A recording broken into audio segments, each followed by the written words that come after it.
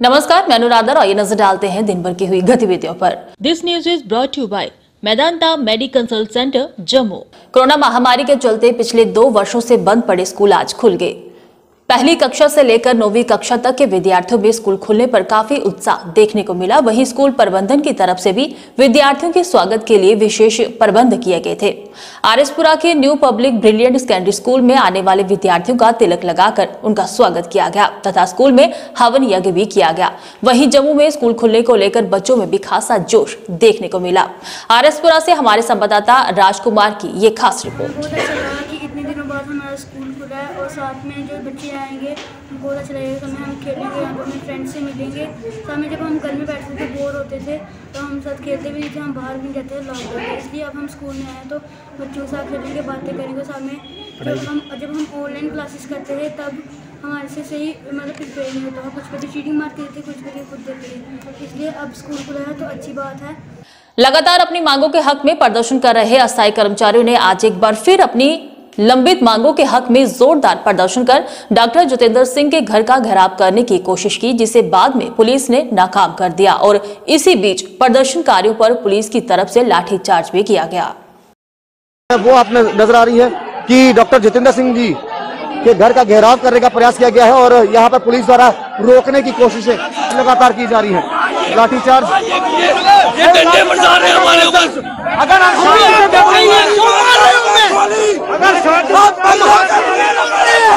अखिल भारतीय विद्यार्थी परिषद के सदस्यों ने आज अपनी मांगों के हक में जम्मू यूनिवर्सिटी गेट के बाहर प्रदर्शन किया और मांग की कि सरकार ने अब जो बढ़ती प्रक्रिया और प्रमोशन को खत्म करने का जो निर्णय लिया है, उसे जल्द से जल्द वापस किया जाए। नहीं तो युवा सड़कों पर उतरने को मजबूर हो जाएँगे।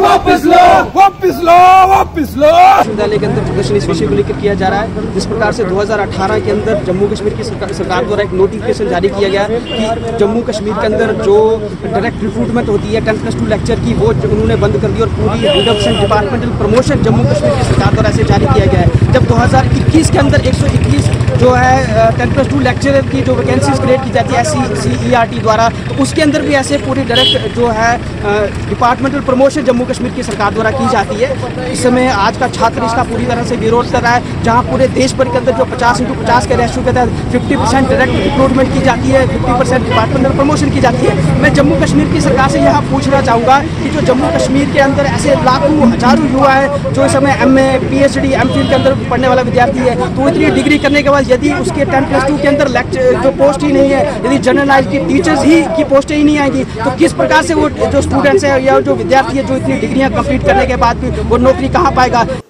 बीजेपी के वरिष्ठ नेता राजेंद्र शर्मा ने आज एक प्रेस वार्ता का आयोजन किया, जिसमें उन्होंने जमीनी रिकॉर्ड गायब होने संबंधी प्रशासन द्वारा की गई छापेमारी की सराहना की और इस कार्य को करवाने के लिए उन्होंने डिविजनल कमिश्नर जम्मू राघव लंगर की भी प्रशंसा की है। मैं करता हूँ और अप्रिशिएट करता हूँ राघव लंगर जी का ये स्टेप जिन्होंने बिना किसी परवाह के इस कार्य को करवाया।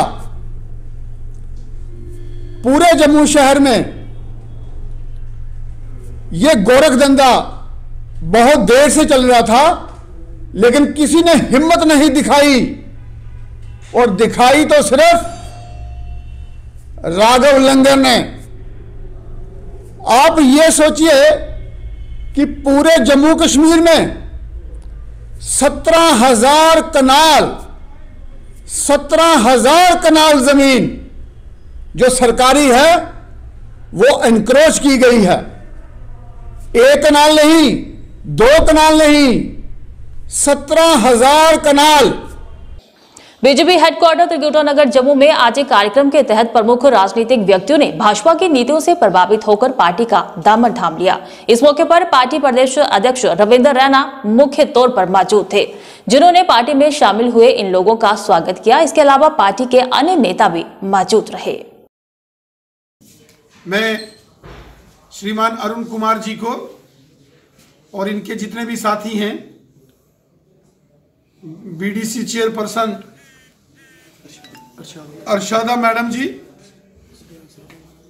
और जितने भी सरपंच साहिबान हैं, जो उस उत्तर बहनी परमंडल, जोगिंदर जी और खड़ा मढ़ाना के अनिल जी, और उनके साथी, जितने भी साथी आज भारतीय जनता पार्टी में शामिल हुए हैं, मैं इनको मुबारक देता हूँ, बधाई देता हूँ कि ये आज फिर से अपने घर में वापस लौटे हैं।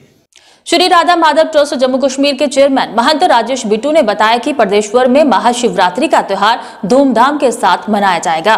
उन्होंने बताया कि आरएसपुरा क्षेत्र में स्थित शिव मंदिरों में इसकी तैयारियाँ जोरों शोरों से चल रही हैं। उन्होंने सभी श्रद्धालुओं से अपील करते हुए कहा कि वे इस धार्मिक कार्यक्रम में बढ़ चढ़ कर भाग ले। लंगर जी को मिलकर करके हमने अवगत करवाया कि कहाँ कहाँ क्या होने जा रहा है। तो इसी सिलसिले में आज डिप्टी कमिश्नर जम्मू के ऑफ़िस में भी बैठक है। तो मैं आरसपुरा के अंदर जो मंदिर हैं, उसकी व्यवस्था जहाँ की स्थानीय प्रशासन से मांग करना चाहता हूँ कि शिवरात्रि के ऊपर जो पर्व में पूरी रात पूजा होती है, उसकी सिक्योरिटी की व्यवस्था, वहाँ सफ़ाई की व्यवस्था म्यूनसिपल कॉरपोरेशन के यहाँ के जो पदाधिकारी हैं, वह ध्यान दें। और मैं समझता हूँ कि इस बार जो शिवरात्रि होने जा रही है कोविड को ध्यान में रखते हुए तो है लेकिन जो सरकार के एसओपी है, उसमें थोड़ी सी ढिलाई होने की वजह से, जैसे कि उन्होंने स्कूल खोल रहे हैं, कॉलेज खोल रहे हैं तो हम चाहते हैं कि हम अपने आयोजन भी कर सकें। डोडा ज़िले के कास्तीगढ़ तहसील के गाँव जानी में आज पहली बार चेयरमैन हरदीप सिंह ने NGO Navodaya express helping charitable trust Jammu Kashmir और एनजीओ वर्क की अध्यक्षता में विश्व सामाजिक न्याय दिवस मनाया। इस मौके पर डॉक्टर मसूद इकबाल जरगर मुख्य अतिथि के तौर पर मौजूद थे। Different items sharpener rubber doctor Masood Zargar ji और दूर दूर से आए मेहमानों को सिमरन देवी की तरफ़ से सुप्रभात। मैं आज आपके सामने शिक्षा के महत्व पर अपने विचार आपके सामने रख रही हूँ। यहाँ पर उपस्थित सभी लोग जानते हैं कि शिक्षा सभी के जीवन में महत्वपूर्ण भूमिका निभाती है। सफलता और सुखी जीवन प्राप्त करने के लिए, जिस तरह स्वस्थ शरीर के लिए हमें भोजन की ज़रूरत होती है, उसी तरह उच्च शिक्षा प्राप्त करनी बहुत ज़रूरी है। वार्ड नंबर 31 के पार्षद सरदार सुच्चा सिंह ने विकास कामों के तहत क्रिमेशन ग्राउंड में निर्माण कार्य शुरू करवाया, जिस पर 6 लाख रुपए की राशि खर्च की जाएगी। इस मौके पर स्थानीय लोग भी मौजूद थे।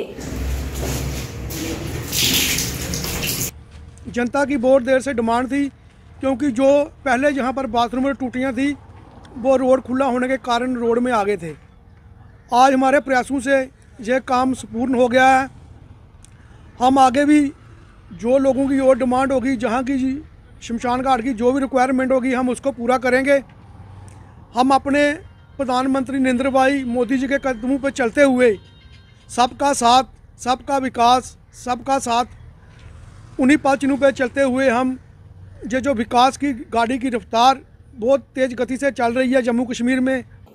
आज के समाचारों में फ़िलहाल इतना ही। दीजिए इजाज़त। नमस्कार।